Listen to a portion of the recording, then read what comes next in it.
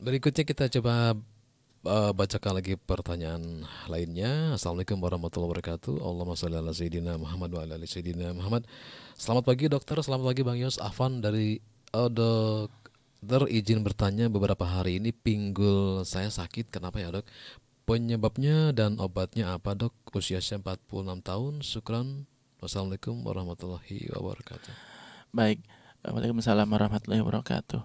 Dalam suatu keluhan itu kita tidak bisa langsung kemudian menegakkan diagnosa karena iya. sakit X tidak bisa. Hmm. Jadi yang pertama biasanya kalau di tingkat di rumah gitu ya, hmm. ya kita evaluasi saja barangkali ada aktivitas yang berat yang habis kita lakukan, misalkan ngangkat beban berat atau mungkin habis aktivitas yang berat hmm. atau mungkin ada suatu misalkan habis hajatan berdiri lama gali sumur macam-macam lah. Oh. intinya ya sangat mungkin.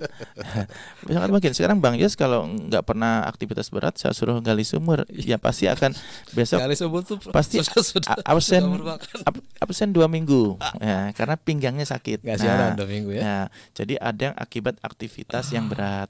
ada juga infeksi infeksi ringan biasanya. Dan dan ini biasanya nanti ya biasanya ada demam ada nyeri tekan atau mungkin gangguan berkemih ya macam-macam.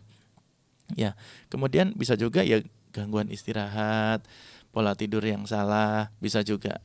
Ya jadi jadi banyak faktor. Yang jelas evaluasi saja pola istirahatnya pola makannya kemudian ya minum obat-obat penghilang rasa nyeri nggak apa-apa paracetamol saja. Paracetamol lalu segera makan yang sehat minum air putih yang banyak istirahat jangan aktivitas yang berat dulu. Itu saja. Kalau misalkan tiga hari atau seminggu masih nyeri boleh nanti ke dokter untuk dibantu menegakkan diagnosanya sehingga bila mana ternyata ditemukan hal-hal yang perlu intervensi medis ya akan segera ditangani. Tapi jika ternyata oh baik-baik saja alhamdulillah ya ternyata ya ya alhamdulillah kan begitu. Mungkin hanya perlu istirahat saja.